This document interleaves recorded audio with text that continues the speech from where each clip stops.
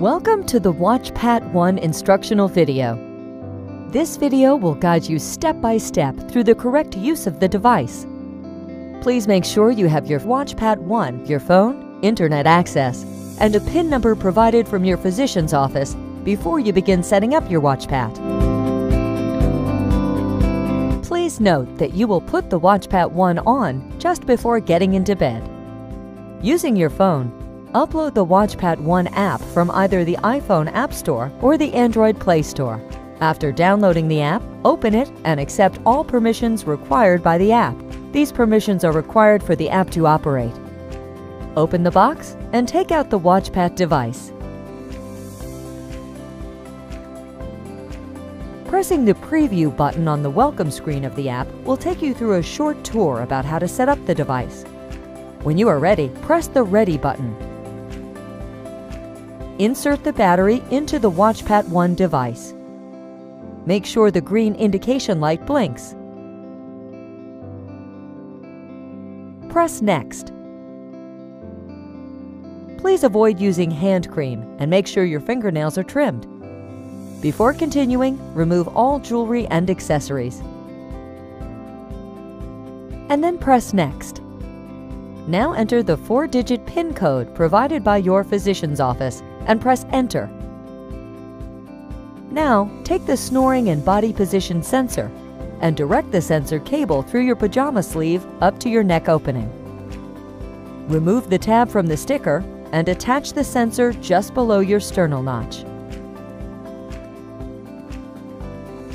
It is recommended to use medical tape to secure the sensor in place.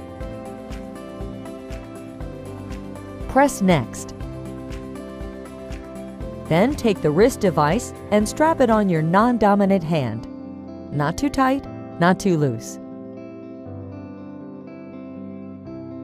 And press Next.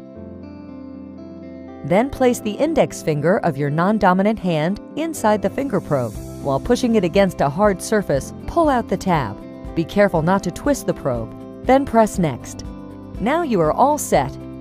Make sure the phone is placed no more than 15 feet 5 meters from the bed.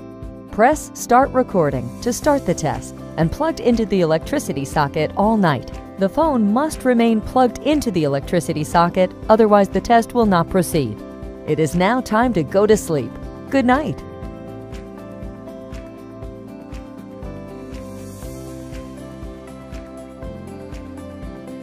If you need to get up during the night for any reason, leave the phone plugged in. There's no need to carry the phone with you.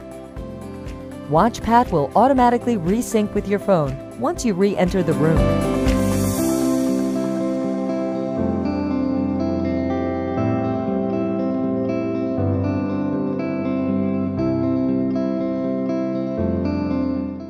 In the morning when you wake up, press End Recording on the app.